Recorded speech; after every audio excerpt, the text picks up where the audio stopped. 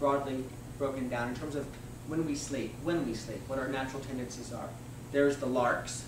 These are the early, early morning ones, up at five, you know, sort of wanting to go to bed by 10, that kind of thing. There's the uh, owls, you know, getting up at 10, wanting to go to bed at 2 or so.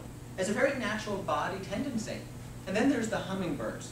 That's this larger group in between. They say that there's about 10% larks, 20% owls, and the rest, the 70%, most of us fall in the middle somewhere, but sort of hovering in the middle zone. You know, from the, from the legal perspective, just to make it something we sort of embrace with that background, it's almost like we've got these two forces, these two companies. One is called the Circadian Arousal System, Inc. Circadian Arousal System, Inc. Keyword being arousal. So, circadian or circadian arousal. System Inc. This is a part of us that wants to stay what? Awake or asleep? Awake. And then we have the homeostatic sleep process or pressure. Key word here being sleep called the support. So there's these two entities that are taking place inside of us at all times. One of them wants us to stay awake all the time, all the time. The other one wants us to sleep all the time. This one's always pushing for us to sleep. It's, there's neurons, there's hormones, and there's chemicals. They're all at play saying sleep, sleep, sleep, sleep. And these are always pushing for us to stay awake, awake, awake, awake. But they vary in terms of their intensity. They vary in terms of their intensity. So, for the arousal and for the sleep, it looks like this.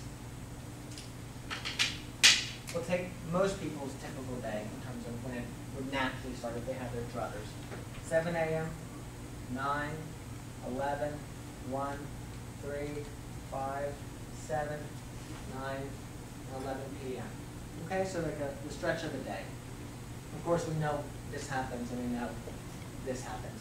And what I'm about to draw carries over, it's a non-stop. But here's the way it looks. Yellow, because it's arousal, we want to stay awake. You think it's 7 o'clock in the morning, this system is engaged, high, or is it sort of petering out? What do you think it's doing at 7 o'clock? It is saying, hello. And then, of course, when we hit 11 o'clock, where is it? It's like, I'm exhausted. And we, then we'll come back up.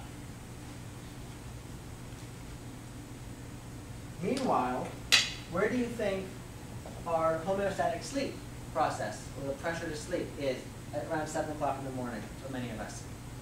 Oh. Correct down here, and is slowly working its way up. Okay? So these two processes are always at play. There are some people, sadly, very sadly, for whom this one is not working. And they never sleep. They can't. You could do anything. You can't have them sleep. What's interesting from the napping perspective is this. They've done some interesting studies where they say, well, let's put people in a room where it's dark and they really can't have the cues of when they should be awake, when they should be asleep. Let's see what happens. Let's see what they just naturally would do if let enough time passed, they just sort of like didn't know what they were supposed to do because there was no alarm clock, there weren't people saying, let's go to work, there was no sun, there was no moon, there was no... What they found was this. They slept a healthy amount of time, eight, maybe a little bit more hours. Naturally, they go to bed, they would wake up, it would be this nice, if you will, healthy in the, in the general, generous sense, generous sense of sleep, generous of sleep. But they also would nap. They would have this tendency in the middle of the day to want to take a nap. Now, what do you notice happening between 1 and 3 o'clock in these two systems? They're sort of not as ready to take on the other. Here it's clear who's gonna win, or at least who's gonna win in terms of what you're feeling. Here you are feeling tired. Here you are feeling awake. Here, you know how so much of the world sleeps in the middle of the day? You know the siesta, right?